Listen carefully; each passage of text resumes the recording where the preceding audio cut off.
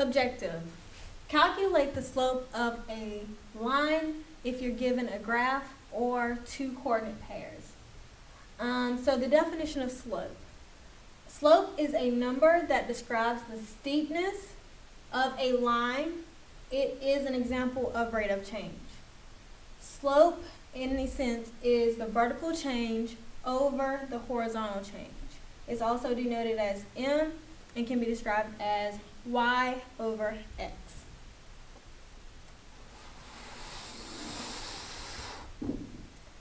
If you have the graph of a line and you want to know the slope, use rise over run. So say I have this graph. I have two points, negative 1, 1, and 4, 3.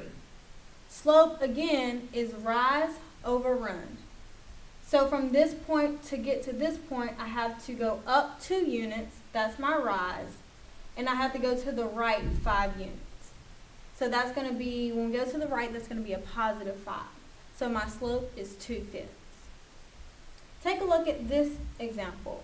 It's a bit different. It's going the other way, so it's decreasing, and you have the point negative 1, 5, and 4, 2. Here, I, I go up 3, so that's my rise, up 3, but this time I go to the left instead of the right. So that's going to be a negative 5 units. So my slope would be negative 3 fifths. When I have a negative slope, I will have a decreasing line. When I have a positive slope, I'll have an increasing line.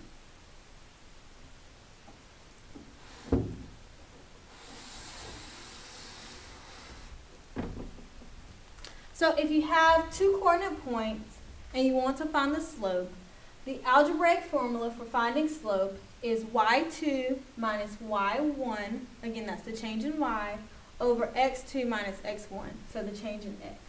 Now, x1 and y1 and x2 and y2 are coordinate points such that y2 minus y1 is not 0. Example, find the slope. Say we have the point A, negative 2, 1, and the point B, 5, 7. Again, we're going to do y2 minus y1 and x2 minus x1.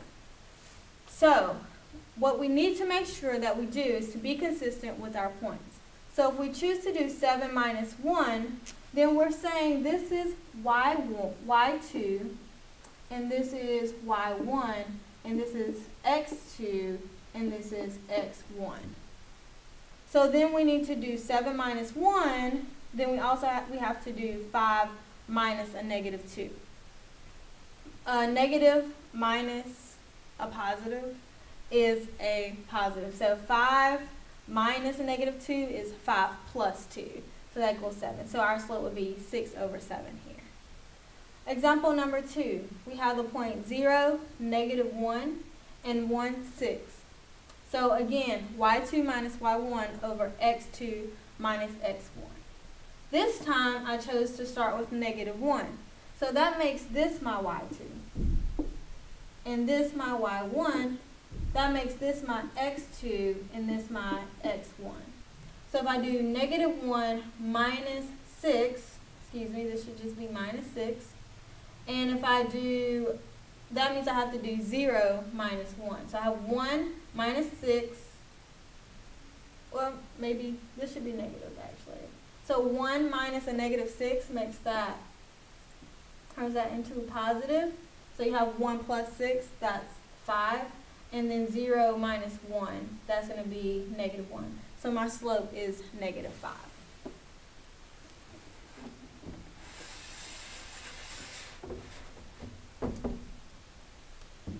What if we're given the slope and actually need to find x or y? So say I have the point 2, 4 and x, 8, and they tell me that the slope is negative 2. In a sense, we're kind of working backwards because we're given the slope already. We're simply going to use the formula slope equals y2 minus y1 over x2 minus x1. So that means our negative 2, that's our slope, equals y2, so I chose to do 8 minus 4, so that makes this my y2 and this my y1. That makes this my x2 and this my x1. So if I do 8 minus 4, I have to do x minus 2. So then from there, we use a shortcut called cross multiplication and do 1 times x 8 minus 4 equals negative 2 times x minus 2. So from there we distribute, 8 minus 4 is just 4, so 4 times 1 is 4, equals negative 2 times x and negative 2 times negative 2, which is negative 2x plus 4. From there we subtract 4 from both sides, 4 minus 4 is 0, so 0 equals negative 2x. If we divide both sides by negative 2, then x equals 0. So that means this point is 0, 8. Here we have the point negative 4y and the point 2, 4y. Slope is equal to 6, so we do the same thing using the same formula. Slope equals y2 minus y1 and over x2 minus x1. So 6 equals 4y minus y over 2 minus a negative 4. So again, we cross multiply 4y minus y on this side and then 6 times 2. Remember 2 minus a negative 4 is just 2 plus 4. So 6 times 2 plus 6, which is 6 times 6 to give us 36. And then 4y minus y is just 3y. So we're left with 3y minus 36. To get y by itself, we need to divide both sides by 3. So 36 divided by 3, y equals 12. Alright? So in summary, we know how to find x and y given the slope. We know how to um, use uh, two ordered pairs to find the slope and then use a graph to find the slope to do rise over run.